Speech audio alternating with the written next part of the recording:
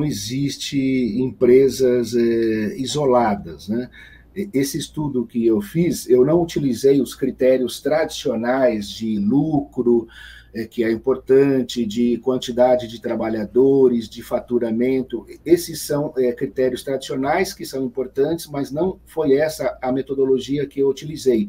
Eu é, é modelei, né, a partir do, de dados fornecidos pelo, por um anuário, anuário 200 maiores grupos, publicados pelo, é, pelo jornal Valor Econômico, do Grupo Globo, portanto, são é, dados dados que a gente não pode contestar, né? Quem produziu esses dados não foi um grupo de oposição a um grupo de esquerda, né? Foi um dos principais é, jornais é, capitalistas, né?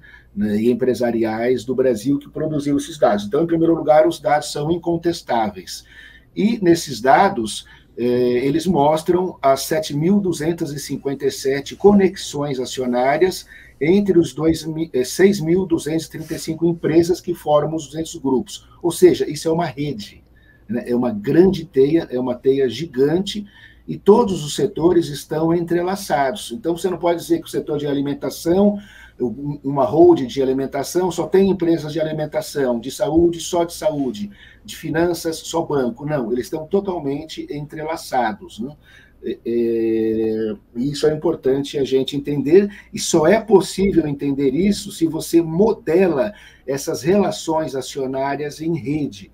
E foi justamente isso que eu utilizei, né, que eu fiz. Eu utilizei uma metodologia que se chama, que se chama análise de redes sociais e utilizei alguns indicadores para isso essa figura é, é, dá, uma ideia né, do, do emaranhado, né, das 6.235 empresas, 7.257 conexões acionárias. Então, as empresas estão ligadas entre elas pelo controle é, acionário. Fica um pouco difícil de visualizar, né, porque são muitas conexões, muitas empresas, mas aí nessa imagem eu tentei destacar é, aquilo que é possível visualizar na área da saúde. É que fica mais fácil visualizar é a rede DOR, que é justamente a mais poderosa. E quando vai, vai se dando o zoom né, nessa, nessa imagem, a gente consegue visualizar um, um, pouco mais. Né?